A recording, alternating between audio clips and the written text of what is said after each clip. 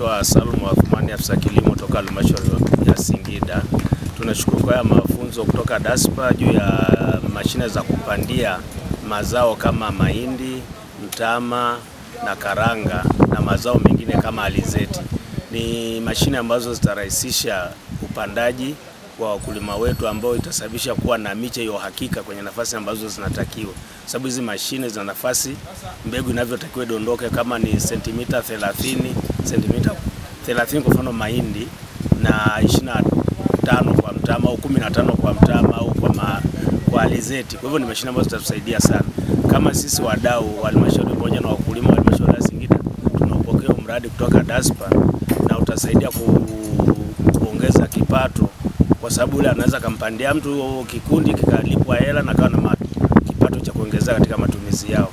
Kwa hivyo nasi kama halmashauri tumepokea, tutahamasisha wakulima kwa wingi wawe na hizi mashine, kwa sababu mvua zenyewe sio za uhakika za muda mfupi.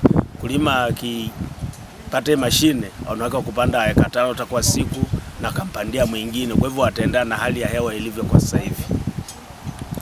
Kwa majina naitwa Shadia Karinga Hamadi, natokea Mrama, ni mkulima pia ni afisa kilimo wa kata ya Mrama.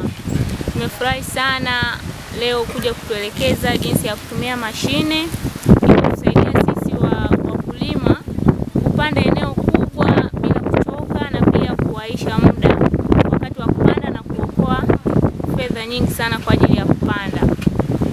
Tunashukuru sana na tunaomba muendelee kupeleka hizi mashine sehemu na sehemu. Watu wengi sana wana uhitaji wa kupanda na mashine. Tunashukuru sana na karibuni sana Mrama.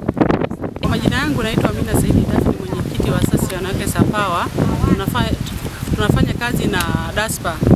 DASPA wametuwezesha mbegu karanga na mtama mfupi. Huu ni mwaka wa nne, lakini kwa mwaka huu wamefanya kazi ya kishindo. Wametupatia mashine mbili planta za kupandia ambazo zitarahisisha kusaidia wanawake hawa kurahisisha katika kilimo, maana tulikuwa tunahangaika wakati unapanda, ni lazima utafute watu wasaidizi wanaokusaidia kupanda, lakini kwa sasa tutarahisisha. Mnaweza mkafanya kazi katika ekari moja, watu wawili mkapanda, na mashine hizi zina uwezo wa kupanda eka tano kwa siku, ambazo tunajisikia vizuri sana. Wanawake wa Singida tumefarijika. Kwa hiyo tutaendelea kufanya kilimo chenye tija ili kuondokana na umaskini, kuweza kusaidia familia zetu.